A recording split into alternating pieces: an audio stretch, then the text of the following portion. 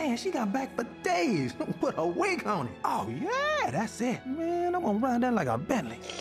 Ever wonder why African American black men are so attracted to large posteriors? Good day. I am Professor Wooldoor Sockbat, here to explain this completely racist phenomenon.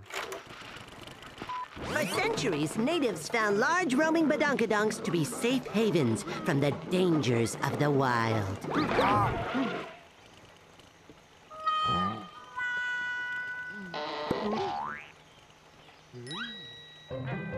Their love of huge asses has been written into their genetic code. Even they don't know why. They just know. See you next time when we explore why Jews have big noses. Is it because air is free?